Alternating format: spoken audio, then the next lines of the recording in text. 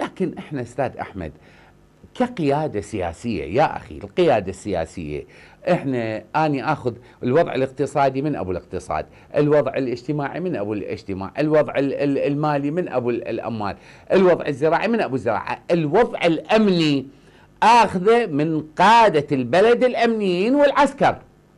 هذا الكلام أنا رجال مدني، رئيس وزراء مدني، زين اقعدوا تفضلوا قدامي أنتم إذا طلعت القوات الأمريكية هل البلد مؤمن؟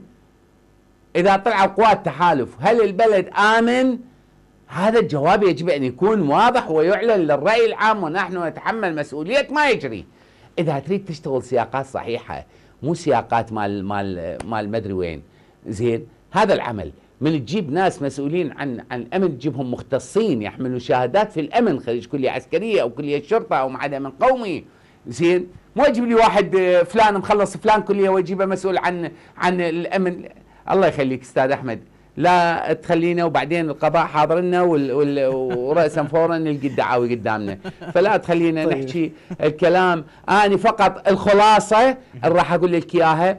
من القادة الأمنيين يرفعون كتاب يقولون يابا إحنا مسؤولين عن أمن البلد وما نحتاج لا دعم جو ولا قوات تحالف. طيب. هذاك الوقت أنا يكون قلبي مطمئن لأنه جاية آه، واصل هذا الكلام من قادة يعرفون وضعهم. لكن أنا أقول لك سوف لن تسمع هذا الرأي أبدا. ما حييت.